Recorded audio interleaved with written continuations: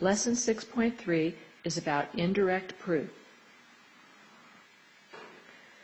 So up until this point, we've been using direct proofs. The two-column proofs are direct proofs. That's where we try to prove the conclusion is true directly.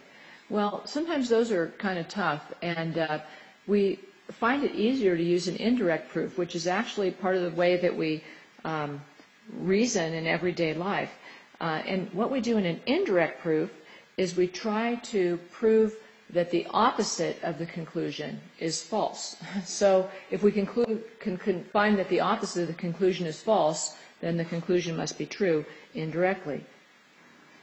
Okay, so there's three or four basic steps of an indirect proof. Um, and the first one, step one, is that we're going to assume temporarily that the conclusion that we want to prove is false.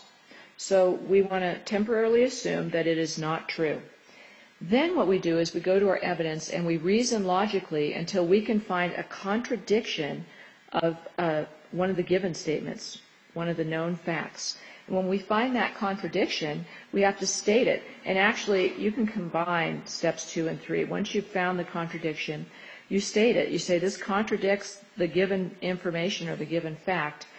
Uh, therefore, the last step is therefore um, the original conclusion must be true because we found a contradiction to the opposite um, of the conclusion, which was we assumed the opposite in uh, our step, first step. So this is easiest to understand when we use an example. So here we go with an example. So you say that my dog Rex dug a hole in your yard on July 15th. Well, I'm going to prove that Rex did not dig a hole in your yard. So that's what I'm trying to prove. That's the conclusion I want to prove. So, step one. Remember, this is where we temporarily assume that the conclusion I want to prove is false. So let's temporarily assume that Rex did dig a hole in your yard on July 15th. Okay, now the next part is where I'm going to reason logically until I can show a contradiction uh, that's going to disprove that. So if Rex dug a hole in your yard, he would have had to have been in your yard. He would have had to have been in your yard on July 15th. But this contradicts the fact that actually Rex was in the kennel from July 14th to 17th, and I have the bills that show that this is true. And now the last step, I say, well, we've contradicted this temporary assumption right up here, so thus our uh, assumption is false. And therefore, Rex did not dig a hole in your backyard. So I went indirectly and proved uh, what I wanted to prove in the first place. So that's a little example, and I'll show you an example that uses some geometry. Okay, so here's a little geometric example. We have two lines, A and B, that are both cut by transversal T. And I have three angles measured there, shown. And um, the given statement is that, and we have to always accept the given as fact. That's very important in these um, indirect proofs. We have to assume that the given is true. Okay, so the given is that angle 1 does not equal angle 2, those two measures. What we have to prove is that A, line A is not parallel to line B.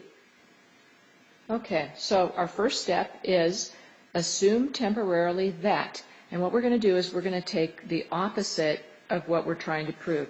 So we're going to temporarily assume that line A is parallel to line B. So that's step one. Okay, so step two is where we're going to reason logically until we reach a contradiction of the given. So I say, okay, well, if A is parallel to B, if so, then uh, angle 1 would have to be congruent or the same measure as angle 3. Because why? Because those are corresponding angles. and those would have to be congruent. Okay, and what else would have to be true? Well, uh, angle 3 would have to be congruent to angle 2. And that's because vertical angles are congruent.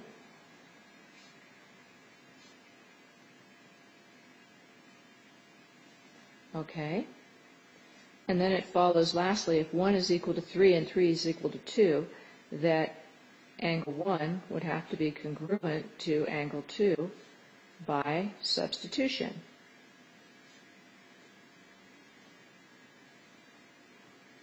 Okay, then the third step is I say, well, I just said that angle 1 is congruent to angle 2. This contradicts the given statement that is factual, that in fact, measure of angle 1 is not congruent to the measure of angle 2. And then the last step is uh, where we say, okay, therefore, the original assumption must be false. In other words, the assumption that A was parallel to B is false, proving that, in fact, A is not parallel to B. So we'll put a line through that. It's not parallel to line B. And that's the basic four-step plan for doing an indirect proof. And that's it.